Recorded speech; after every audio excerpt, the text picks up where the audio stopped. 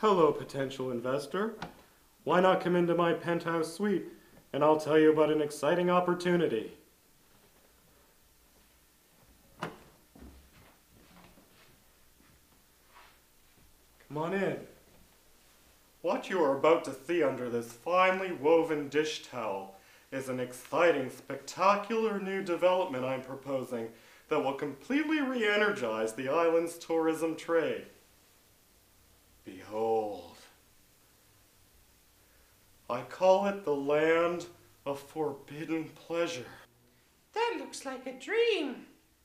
Yes, it does, Seamus, and you should know. Seamus is one of my partners in the project, along with Big Donnie over here. So your interest is piqued, and you want to know more?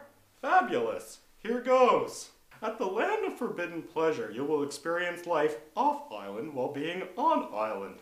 You will take a, a, a four-lane potholeless highway into the 50-acre development, and your first stop will be this, the Canned Pop Emporium.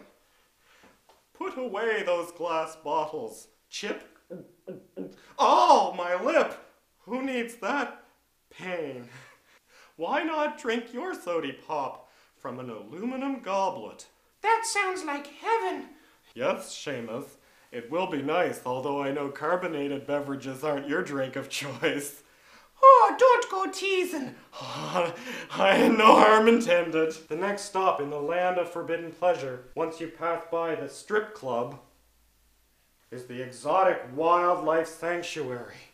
Witness the awe-inspiring, stunning power of the deer and the bear and the elusive moose.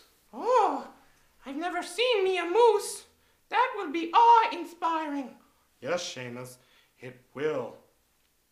The last moment in your trip is what we call the ride of a lifetime. Right here. Here you will experience public transit on Prince Edward Island for the first time. Just like in the big city. That's right, Seamus, it is. This is a spectacular opportunity. And if you want to get in on the ground floor, all you have to do is call the number on your screen right now. Call that number, and you'll be in on an exciting new development. Lo and Bigorra, you won't regret it.